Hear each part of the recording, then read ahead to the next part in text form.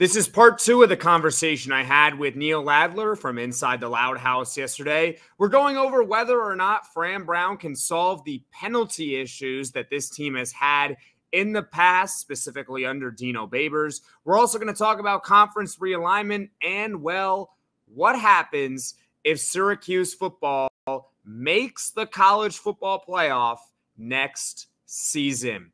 Today's episode is brought to you by FanDuel. Make every moment more as playoffs wind down. The sports stop sporting like we want them to. But this summer, FanDuel is hooking up all customers with a booster bonus daily. That's right, there's something for everyone every day, all summer long. Visit FanDuel.com to get started. All right, everyone, enjoy part two of this episode.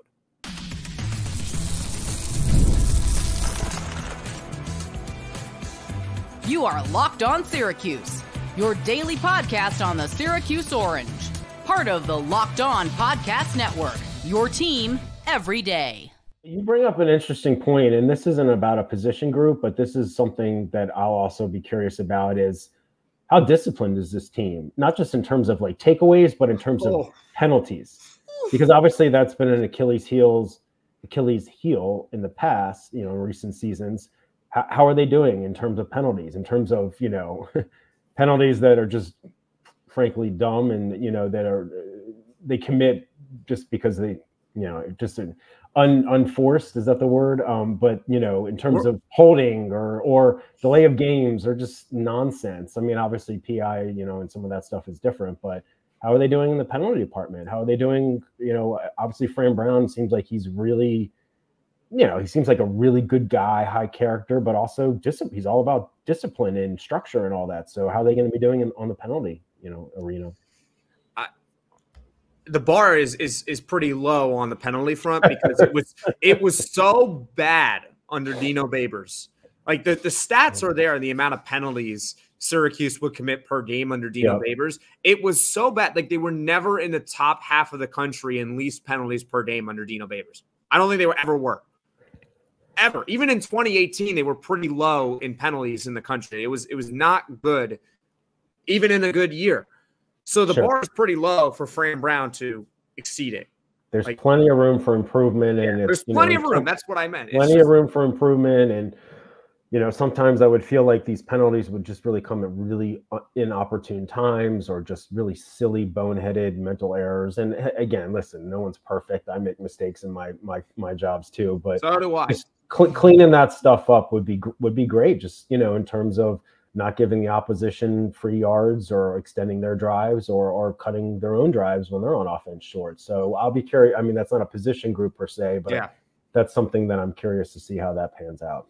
And usually when we're talking about penalties, it's always like a cliche you know, I played hockey growing up, and the classic saying is, you know, stay out of the box, right? You don't want to right. take penalties and everything like that. And and football, like obviously you don't want to commit penalties, right? But no, this is a team that it's a legitimate thing we got to talk about here because yep. under Dino Babers, they were committing a lot of penalties.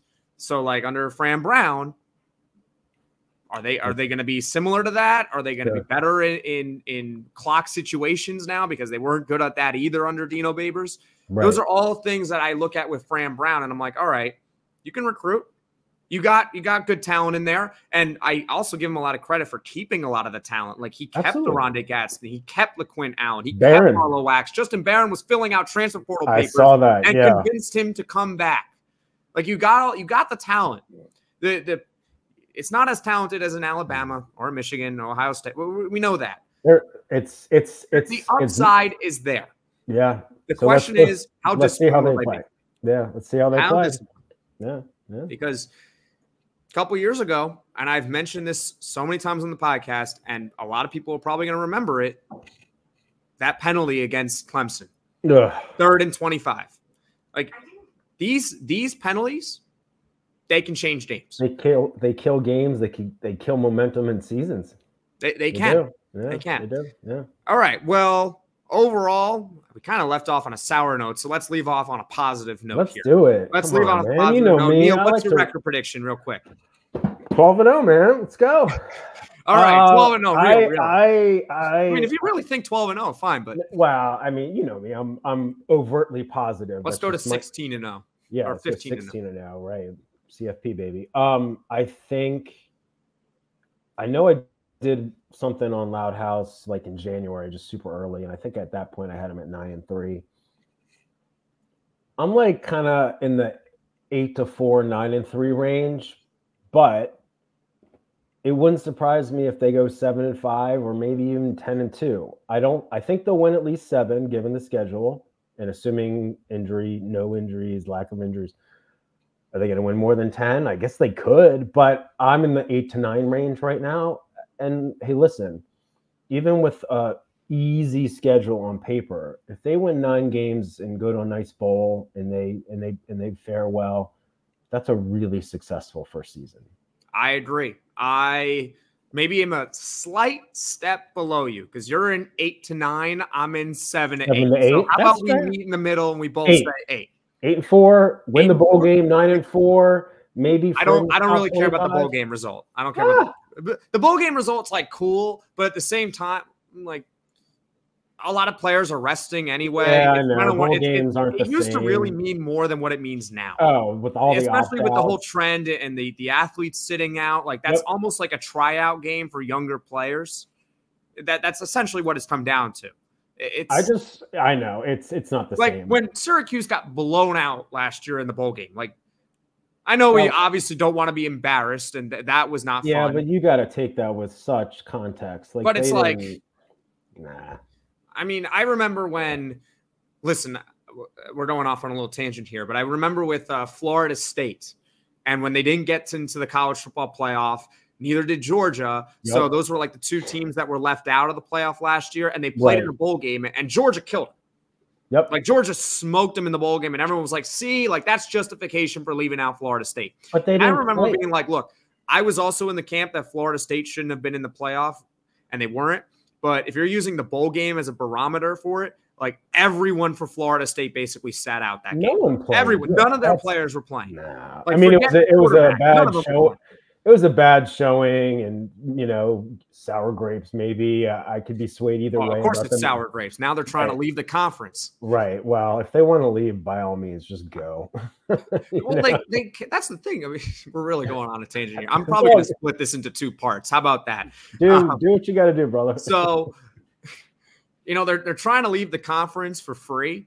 Uh, but if they wanted to leave right now, they can pay like six hundred million dollars yeah, to do it. Yeah, and the funny part is, is that unless the ACC were to dissolve, uh, I don't think if they were to leave that the SEC or the Big Ten would take them, and so therefore they'd be paying six hundred million dollars to move what to the Big Twelve. I mean, you know, you've seen you've that's seen what they're going to do, right? You see reports uh, on this stuff. It's all speculation. I'm not plugged in. I don't pretend to be. But you know, some of the recent chatter was that if you know Clemson and Florida State were able to get out or or, or whatever, that the SEC and the Big Ten doesn't even necessarily want them right now. So maybe is is moving to the Big Twelve is that is that a lateral move? I don't know. Even if it's a slight it even if you were to say the Big 12 is a slight upgrade over the ACC, like okay, let's say it's a slight upgrade. Mm-hmm. You're going to pay six hundred million dollars for a slight upgrade. I behooves me. That's why they're well. That's why they're suing. Yeah, it's just such a bad, it, you know, again, I know we're, we're we're going off here, but it's it don't just, worry. I'm gonna split this into two. Yeah, no, to me, Jackson, it's like the whole conference. Well, you know, listen, I went to Cuse in the late '90s, so I'm an old school Big East guy. Uh, been following basketball and football since the '80s, so so you know, even for me, it's still like weird that they're in the ACC, but it's been 10 years, so it is what it is. And obviously, a lot of these realignment moves now have nothing to do with geographic proximity or regional rivalries. It's all about football television contracts. Um, but it's sad, uh, you know, and I know we live in a democracy and, and uh, some would say a litigious society, whatever. But it, I mean, it's kind of gross to see, you know, we're starting off this football season. They got an expanded CFP, you've got NIL and everything. And and, and you know, and, and and there's these lawsuits going on. I mean, I mean that stuff's a little over my head, but you know, the grant of rights with ESPN is the grant of rights. I don't know if it's they're going to be able to break that, but it's just it's just a shame because I love I love college sports. I love college football and basketball, and you know, to kind of have that cloud hanging over the ACC's head, and because I mean, it's still a good conference. Yeah, it's not the SEC, it's not the Big Ten. Um, from a football standpoint, from a basketball standpoint, you know, Obviously, you've got Duke and North Carolina, but I mean, you know, Virginia won a couple years ago. If Syracuse could get back to where they used to be, Louisville won, you know, in 2013. To, regardless of what the NCAA says now, I mean, they're well, yeah, they're, that, that I've always gotten a kick out of. Like, oh, we're gonna strip the the title away. I'm like, I, okay, so like, let me tell you something. look online, like, okay. Mm-hmm. Uh, let me tell you something, brother. I was at the 2013 Final Four, yep. you know, because Syracuse was in it, and it was a bucket list item for me to go when they got in and it was brutal when they lost to Michigan in the in the uh, in the semis. But they weren't um, going to. I was there. Anyway. I was there. Louisville beat Michigan. They won the national title. So vacating all that stuff is garbage to me. But I love sports. I love them so much. I never want them to stop. But as the playoffs wind down, we get fewer games and the sports aren't sportsing like I want them to. But FanDuel lets me keep the sports going whenever I want. All I have to do is open the app and dream up bets anytime I'm in the mood. And this summer, FanDuel is hooking up all customers with a boost or a bonus daily. That's right. There's something for everyone every day, all summer long. And if you're itching for football season like I am, guess what? FanDuel has released the odds for Syracuse's first game against Ohio. The Orange are now 17 and a half point favorites to get the W. You think the Orange are going to cover? Well, you can bet it right now on FanDuel. Now, if you want to play it safe, Syracuse's money line is minus 950. So head over to fanduel.com and start making the most out of your summer. FanDuel, official sports betting partner of Major League Baseball. Thank you for making Locked On Syracuse your first listen of the day. For your second listen, enjoy the Locked On College Football Podcast. Spencer McLaughlin gets you ready for an exciting season on the gridiron with discussion on the upcoming season and the ever changing landscape of college athletics, including conference realignment, the transfer portal, NIL, new college football expanded playoffs, and more. Locked On College Football is available on YouTube and wherever you get your podcasts. Part of Locked On Podcast Network, where it's your team every day.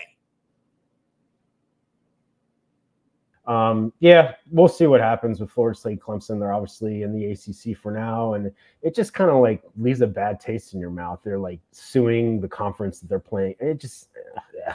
I don't know. We'll see what happens. I mean, uh, the, the, the, ACC's credit, they're they're kind of just like, all right, like sue us, like yeah. we'll, we'll, we'll fight it tooth or nail. And I mean, it sounds like they feel pretty. Again, I'm not a legal expert, but it sounds like they feel pretty confident that the you know the grant of rights that extends for a while with ESPN for t- you know TV stuff is is pretty solid, pretty ironclad. So yeah, pay pay your exit fee, and we'll see who wants to take you, or just like end this nonsense and just you know the the the playoff is expanded now. They're going to have opportunities to get in. It's just they want more money. I get it. that's what it. Money is it. king at the end of it, it's all about money. Like it's yeah, and obviously there's everything the, the almighty dollar. But at the same sure. time, it's like man, like well, and you know, there's new factors now. Obviously, again with NIL and the portal, but then obviously this you know settlement, um, antitrust case settlements. You know where there's going to be revenue sharing with with college athletes in the future. That that obviously is a new thing as well. So I mean. College sports is like you know the minor leagues now. It's it's it's not i mean they're not student athletes i mean they're going to school they're students but are they student athletes? They're they're semi pros that's right. at least in the in the major ones. Right. Uh, and the major ones can differ depending on the college. So but for the most part across the country the major sports are going to be football and men's basketball. And then there's other schools that are going to have miscellaneous sports in there uh, hockey can be big in some schools. Mm-hmm. Um, baseball is especially big. Softball is especially mm-hmm. big in the South. Women's uh, basketball part, is getting more and more popular. Um, they just the NCAA just announced yesterday that they're going to have, you know, revenue unit sharing with um, women's basketball as a result of the, you know, from stemming from the the NCAA tournament, which is is a good thing as well. Yeah, no, it's it's a crazy time. It really is, and you know, it's funny because I write, you know, about the realignment stuff here and there, and obviously just kind of, you know, follow it. But um, you know, I put stuff on our social media channels. People are even this week, people are just like, oh, you know, Syracuse is going to be left. You know, they're, you know, the the music's going to stop, and they're not going to have a seat at any table. And I'm like, I don't know. That's not that. true. I don't, I don't see that at all. I mean, listen, we're not going to get a seat at the table at the in the in the SEC Um, and the reason why I say the the SEC is because you don't really need to be in the region anymore to be in a conference. Right. Um, they're not gonna, but they're not gonna get a seat at the table there. Uh, probably not the Big Ten either. Maybe if it was like ten years ago with Maryland, they could have had a chance at it. Um, right. Right. But not anymore with the Big Ten. So then maybe the Big Twelve. I don't know. Uh, but I think the Big East would take them back. Then what do you do with football, man? They got to get enough. They'd have to get some other teams with football programs to yeah. to but that you know i don't know that how they'd be viewed in terms of you know the cfp and all that. And it's again it's all about tv contracts and tv revenue and you know cfp stuff. And so who knows? But you know i don't think the acc is disbanding anytime soon. And um you know the legal legal stuff will just play out. I'm just excited for the season. I think it's um you know i to get we back to that. you, yeah tangent uh, here about yeah. it's okay. Yeah. no i could talk about that stuff forever yeah, it is. I know, but college football, I mean, you know, it's it, will be a fun season with the expanded CFP. I agree with you. Bowls are like eh, they don't mean as much, but you know, up on the hill, it's um making them means a lot. Making them means something. The actual result of the game. I mean, yeah, like take it with context. I, I, I personally, if, if Syracuse doesn't make the CFP or one of the New Year's Six or whatever they're called, um, I want them to be like in the Duke's Mayo Bowl, so like they can win that, and then like they can dump like a whole thing of mayonnaise all over Fran Brown. Like I just, I don't know, it'd just be funny because he'd he'd have fun with it. Or like the Pop Tart Bowl, do they like let him jump into like a big thing of Pop Tarts, or how does that work? I don't know. What I don't know. What about Cheez Its? I like like Cheez Its is one of my favorite. I'm snacks. personally in I love Cheez Its. I love Cheez Its. So, like, making a Cheez It bowl would be fun. I'd, I'd definitely eat some Cheez Its. Uh, yeah, that'd be fun. Yeah, let's do that. But let's what was the bowl that they were in last year? They, they haven't really been in a bowl that has like Boca a Raton Bowl. Yeah, see, like that doesn't have a cool name to it. Where, where, when are we gonna get like a Mayo Bowl? Or like a Gatorade Bowl or something, there like something go. where if we win, we can pour like something funny on on the coach. Or they get in the Orange Bowl and orange juice, orange. Well, the or- I think the Orange Bowl is going to be a playoff bowl. Yeah, it's part of the CFP. Yeah. yeah. So, so, like in that sense, you know, if it's part of the CFP, then then all bets are off. I mean, you have to win the bowl game. I mean, it's part of the playoff. What, what would what would happen if Syracuse made the CFP this year? Would like everyone's head explode up in Central New York? Like, what would happen? I so I'm going to give you the the really the really awesome answer, which is that we're just going to have so much fun, and regardless of what happens it's going to be a blast to cover it.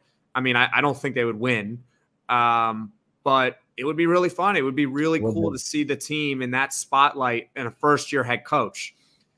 Now, here's where I kind of get to the, the, the trade off here, and I think we'd all take the trade off. Mm-hmm. Uh, Fran Brown's going to be the number one coaching com- uh, commodity on the market. Yeah, yeah, he would. Yeah. He, he he would, no question. If you're in your first year and you take a program like Syracuse to the college football playoff, right? Even though it's 12 teams,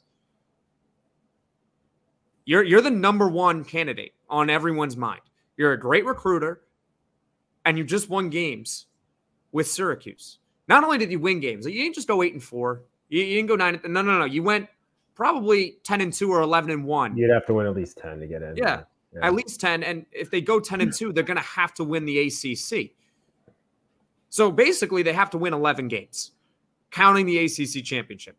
If they do that this season, and I think we'd all take that trade, Fran Brown's going to be the number one coaching commodity on the market. And I know what he has said. He said he's he coaching said Syracuse what everyone life. wants to hear. Right. He wants right. to be with Syracuse for, for life. life, and yep, everything yep, like that. I get it. Sure. Sure. But the almighty dollar.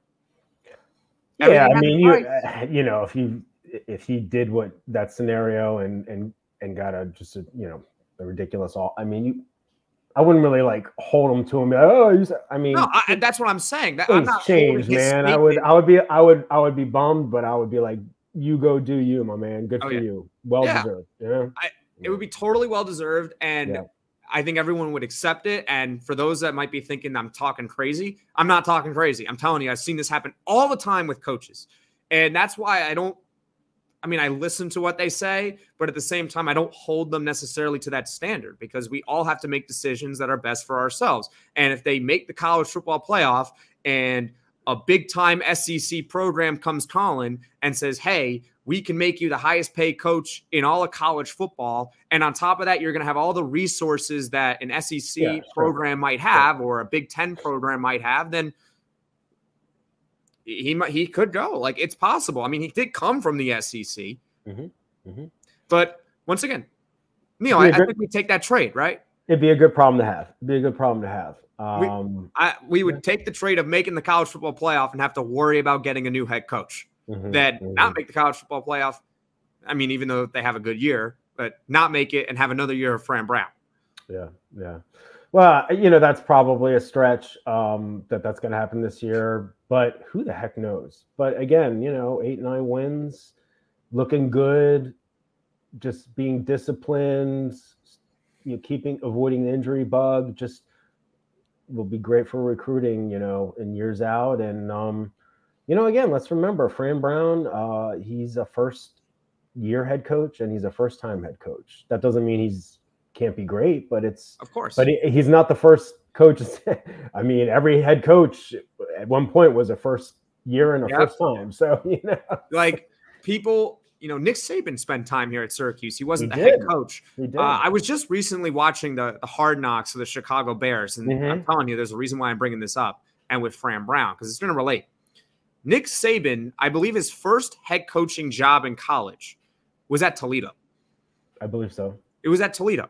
And he's been to a ton of other places. I think of a guy like Urban, Urban Meyer, right? He's been to a ton of places, mm-hmm. Florida, Ohio State, but I believe he, what, where did he get his calling card? Was it Bowling Green or uh, Utah? Uh, Utah. Utah. He did well at Utah. Yeah. Mm-hmm. Utah. So yeah. the point being yeah. is that like even the great head coaches, like it, it trust, it would be awesome if Fran Brown leads this team to not only sustains success, but then stays for a very, very long time. We'd be, be very, very happy. And of course, we'd that. want to keep him. Sure. But a lot of times with these coaches, they're, they're going to take other opportunities. Absolutely. And no one is taking an opportunity and going to say to the media, hey, I'm, I only want to be here for a few years and then go to the a, a different school. No, no one's ever going to say that. Of course not. Of course not. But I mean, with Fran, I mean, I well, a couple things. I think he's a, a very genuine person. I think he he he doesn't blow smoke. You know, he's also from New Jersey. I think he's very fond of Syracuse, and you know the old Biggie. You know, he's he he.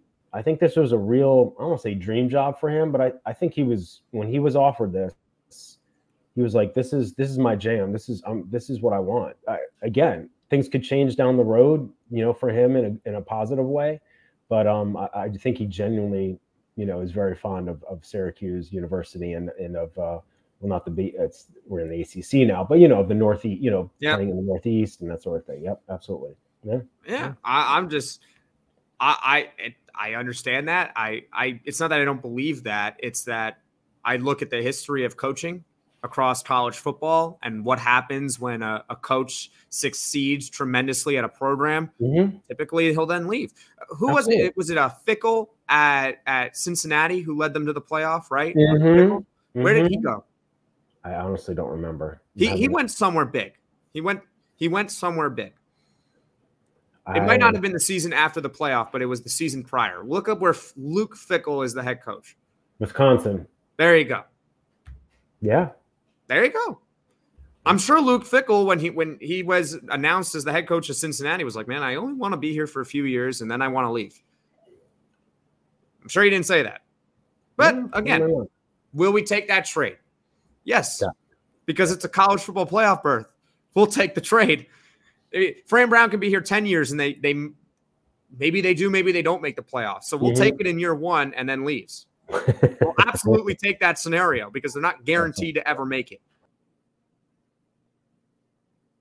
It's one thing to watch baseball on TV. That at times can get pretty boring, but going to a game in person is an awesome experience. And I'm looking forward to watching the Mets for the rest of the summer. And the way I'll be able to watch the Mets in person is by using Game Time. Game Time is an authorized ticket marketplace in Major League Baseball, which makes getting tickets faster and easier. Prices on the Game Time app actually go down the closer it gets to the first pitch with killer last minute deals, all in prices, views from your seat, and their lowest price guarantee. Game Time takes the guesswork out of buying MLB tickets. All you have to do is go to Game Time and search the team you want to see of your choosing. It can be MLB or any league for that matter, and ticket options will appear right away. My favorite part is the all in pricing feature. Toggling this feature shows the total up front with no surprise fees at checkout. Take the guesswork out of buying MLB tickets with Game Time.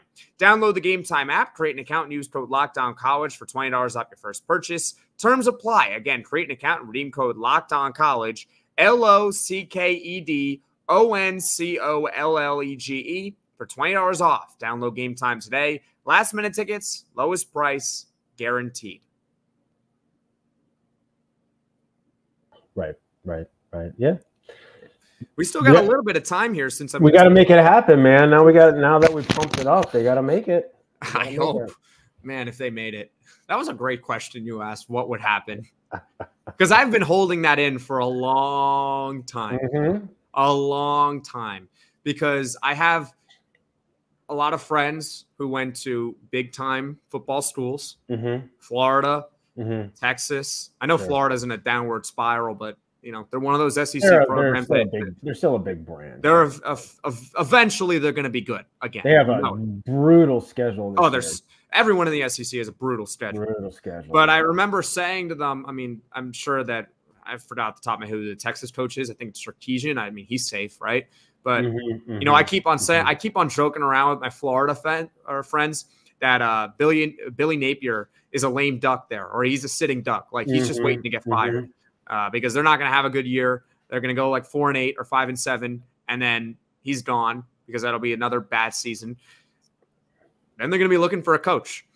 And I was like, you know, it would be really funny if Syracuse has some sort of crazy year, eh, you know, as this crazy. I mean, I would look at that. I'm talking about it on August 7th here, talking about yeah. Fran Brown potentially leaving. I don't want to speculate him leaving, though. I'm no. just saying what I'm answering your question yeah. as to what yeah, would happen no, if Syracuse makes the playoff. Yeah, yeah, yeah. Uh, you know, hey, listen, we'll we'll see how it all shakes out. Uh, as we were saying off air, you know, they've got Ohio, but then I believe week two is Georgia Tech, which is Georgia you know, Tech. kind of a, a you know a Stanford. Team. Stanford, you know, is not good, but they're they are ACC, so yeah, yeah. You can't you you can never take your foot off the gas. No. But you like you can't in Division 1. You can't do it, but at the same time, I mean when they're playing UConn. Like UConn Okay, so fair. and Holy Cross like come on. That UNLV game is going to be that will not I mean UNLV that one would be tough, yeah. They, they were pretty good last year. They got a bunch of votes in the coaches poll. I mean, obviously preseason polls don't mean much, but they were pretty good. And you know, and it's out it's out west. So I mean, I feel like I when I did my projection a while back, I, I projected Syracuse to win, but that's I don't know call it a trap game, but that won't be that's not a cakewalk. That'll that'll no. that'll be a tough. But game. that's that's their like one non-conference game that I that I can see them losing. So the, the other, other three, Holy Cross, Ohio, and UConn. Yeah, I, I mean they're going to absolutely stunned if they lost any of those. Not to be, I mean, the, the, the, the one that's most likely, if you were to pick out of those three, is Ohio. They're only like 16 point favorites ish on there. The other ones, like, listen, if we're losing to UConn and we're losing to Holy Cross, we got a lot bigger fish to fry. Uh, you know, call me crazy or Homer or whatever. I think Syracuse on August 31st is going to come out of the gates and absolutely just blow out Ohio. I think they're oh, going to be. I, I actually agree with you. Not not not because Ohio is like a terrible team. I just think that the the, the anticipation. I think they're just you know, especially with the, you know, if the crowds just gets into it, they get a quick touchdown, a quick to whatever. Like they're just gonna, you know, all all all cylinders will be firing. I could be wrong. We'll see. But um, no, I agree with you on that. It's yeah. going to be similar to what it was with 2022. I remember they opened the season against Louisville Mm-hmm. And it was mm-hmm. Malik Cunningham at quarterback. And that yeah. was seen as going to be a tough game. Syracuse yeah. might have been an underdog in that game. They spanked them. They spanked like, them. Spanked them. Was it like 31 to 7? 31 to 7. It didn't feel like 31 to 7. It felt they a lot worse them. than that. It Absolutely killed them. them. Yeah. It killed them. And I, I agree. I, I agree with you. I think it's going to be something similar with Ohio, except I think it's going to be worse because Ohio is not as good as that Louisville team was. Mm-hmm, mm-hmm. Uh, so I think it's going to be worse. And I don't want to compare it to last year against who they opened. Was it Colgate they opened the season against? Ohio is definitely a step above Colgate. Mm-hmm. So yeah, I, mean, I don't want to. I don't want to compare it to that because no, no, even when they blew out Colgate, I don't. I, I mean, I know from my perspective, when they blew out Colgate, I didn't care too much because I was like, it's it's Colgate. Like you're that's what it's like if they were to blow out Holy Cross this year. It's like, oh, cool. Like next. I mean, the way I look at those non-conference games against not super great teams is, you know, are, are they playing crisp? Are they playing disciplined? Yeah, so fine, the final score, whatever. But are guys are they, you know, is Kyle McCord completing his passes? Are they not committing turnovers? Are they not committing penalty? You know, just like playing discipline ball. Yeah. Like if they're expected to to blow, you just want to be focused and just you know on point, and then just move on. But the ACC, you know, obviously Syracuse doesn't play some of the you know the the, the top tier preseason teams, but it, it will be interesting to see the way the conference you know pans out. Obviously, you know, Florida State and Clemson, a lot of people think will be at the top, but then you got like Miami, Louisville, NC State, then you got like Virginia Tech and Georgia Tech and SMU could surprise some folks, and you know, Boston College got a first place vote in the ACC preseason. That sense. Yeah, well, I mean, it wasn't me; I didn't vote. Um, but um, but it will be interesting to see how kind of the the kind of like the middle of it kind of all you know shapes out. Um, I, I personally think Syracuse could could go on a run and be in the top four or five. I do. Um, I don't think I, they're going to be 12. possible. Yeah, um, yeah. The the question is what the conference record would be because if they were to go eight and four, let's say that they go eight and four and they go four and zero oh in their non-con, that means and they went four and four, four in the conference. So where would four and four in the conference slot them?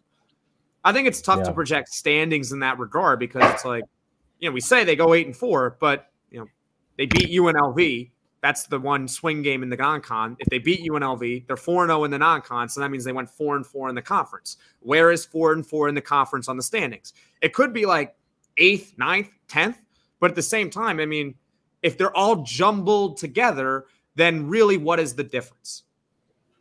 Not much. Not much and their you know their their strength of schedule might not be as high as some of the other teams in the conference just based on the fact that they don't play you know some of those quote unquote top teams. So i don't i i i would hope that they go at least five and three in the conference. That would be my hope. I would hope so too. If they go five and three in the conference unless they lose to unlv that means their record would be nine and three. See i called it. We take it, right? That's the thing. They might lose to UNLV on the road, so then they eight, eight and four. I, you know, it, this is all obviously speculation, and we'll have to see how they play the first few games and what UNLV does its first few games. But that is not going to be an easy game. No, I don't think so. No, nope. think so. so. Georgia Tech, though, in my opinion, is going that's to be the that's that's the test. That's like, a you're going to beat Ohio, and in our opinion, like probably going to blow them out.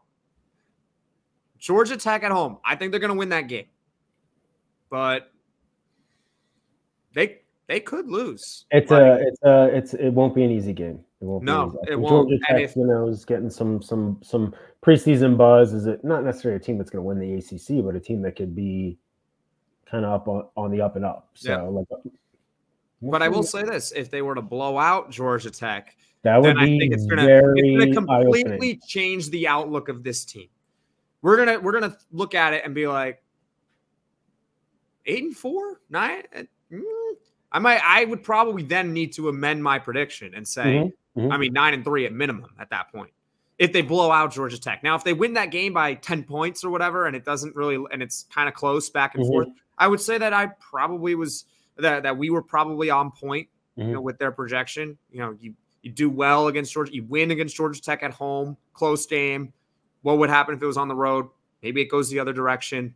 A close game at home, you win. So then we'll be probably pretty accurate on it. I think that's where we're. Uh, is that where you're at? Like you think it's going to be a win, but it might be close. I think they're going to win, but yeah, I think it could be relatively close. And, and that brings up the larger point that Syracuse is. I feel I can't remember it was CBS Sport, one of the national media outlets had like an article earlier this year, and I, I think I piggybacked off it with with a piece on Loud House, talking about like teams that are like the biggest mysteries coming into the season, and Syracuse is on there, and that's necessarily a criticism. It's a first year head coach, first time head coach, relatively you know, made over staff and a significantly overhauled roster, recency bias with a team that's made two bowls but hasn't been super great in recent years, and a favorable schedule on paper, but we don't know how all this is going to shake out. So I agree. If they if they go into week two against a Georgia Tech team that looks like it could be pretty solid in the ACC, and they absolutely whoop them, even at you know home, um, that like I don't want to say like silence the critics, but it, that's like, all right, this team can do it. This team can play. Let's go. You know, I mean, we'll, we'll see. Let's. Yeah. I, I, just want. I just. I don't want to rush through summer, but I just want to see some freaking games. no, I'm ready to rush through summer. I'm ready. We're 24 days away. I don't want to be 24. 24 days away is still over three weeks. So I know. I mean, I know. It's going to be so much fun. Neil, thank you so much for taking the time on this two-parter Thank you for making Locked On Syracuse your first listen today. Now go check out the Locked On College Football podcasts. From NIL deals to never ending conference realignment rumors, Spencer McLaughlin gets you ready for an exciting season on the gridiron. You can find the link to Locked On College Football in the description so you don't need to search. Part of the Locked On Podcast Network, your team every day.